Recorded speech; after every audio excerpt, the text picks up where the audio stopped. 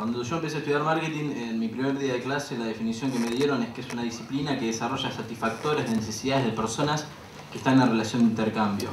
Y también es importante que se den cuenta que cuando lean alguna publicación que hablan de comercialización, mercadeo, mercadotecnia, hablan de, hablan de marketing, son, son sinónimos. En el mundo de los coleccionistas, yo colecciono, se llaman eh, las camisetas de juego y las de tienda versus las de tienda. Las de tienda son las que compramos en las casas de deportes, las de juego son las que usaron. ¿Qué suele pasar cuando en la Argentina no están ordenadas las cosas cuando alguien sale campeón? Entra la hinchada a dar la vuelta olímpica. Entra la hinchada y le afana a todos los jugadores. ¿Ese sí o no? La foto de Olea el otro día, la foto, ahora está un poco más ordenado estos últimos años. La foto en aquel momento del gráfico era el equipo dando la vuelta olímpica en cuero y siempre en calzoncillo. Entonces, ¿qué hizo Penalty? Ya que se perdía que la camiseta estuviera, su, su marca estuviera en el momento más importante del club, que es cuando da la vuelta olímpica, al menos que se vea su marca en los calzoncillos. Y entonces le dio a los jugadores para el partido de la final calzoncillos penalti. Algo tan particular que después Maxi le va a mostrar en un video, que es una camiseta con 3D, digamos. La del Olympique de Lyon, la alternativa del Olympique de Lyon del año pasado. Vos la comprabas el kit con los anteojos y la podías mirar en 3D. Es importante tener en cuenta que, que todas las, las compras que hacemos no son racionales. Si tenemos que comprar un medicamento, probablemente vayamos a la farmacia y tratemos de, de, de, informarnos bien y hacer preguntas objetivas, lo mismo si vamos a un ICI y tenemos que comprar algo para, para arreglar nuestra casa. Pero muchas compras son impulsivas. Si uno está dulce porque cobró el aguinaldo porque,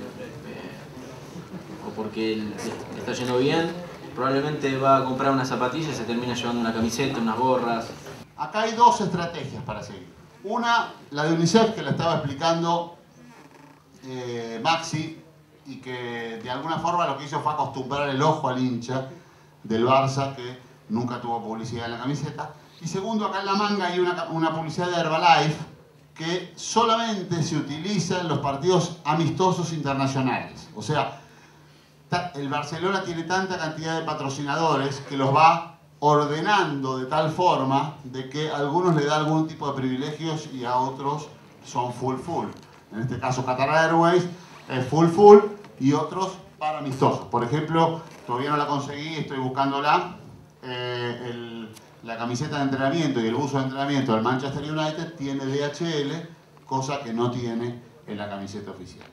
Van a ver que no se hace solamente marketing con clubes de fútbol como el patrocinio de Barcelona con Qatar Airways, también hay patrocinios deportivos con Lionel Messi, como por ejemplo la publicidad de que vamos a ver ahora, y también con, con asociaciones. Acá empezó todo. Muchachos, pocas veces van a ver esto. ¿eh? Acá empezó la historia del marketing deportivo. Esta fue la primera publicidad que salió en la historia del fútbol mundial. No era una camiseta, era un buzo. Este era de rojitas.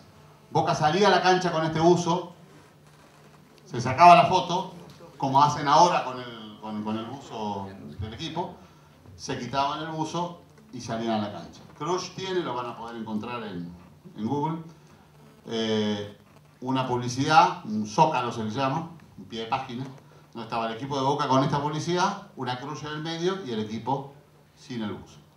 Acá empezó un poco la historia. Así como ustedes tienen que hacer investigaciones para escribir una nota, en marketing también se hace una investigación. Los productos no, no, no se lanzan al azar, sino eso sería una aventura. Se estudia el mercado, cuál es el, el, el, cuáles son los consumidores, se establece un target, que es a donde se apunta el producto. Eh, esto es, es, un poco engorroso, por eso lo más importante es que, que, manejen estos conceptos fundamentales, que hay información primaria, secundaria, terciaria, y que la diferencia son las fuentes de las cuales se obtienen.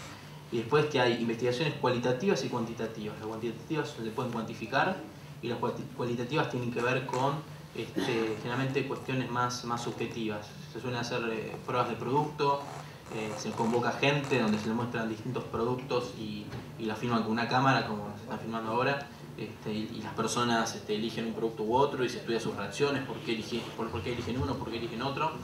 Este, se establece un público objetivo como para que ese grupo de, personas represente al universo de, de, gente a la cual me voy a dirigir. Eso es importante como para que vean que entre marketing y periodismo también hay, hay varios puntos en común. ¿no?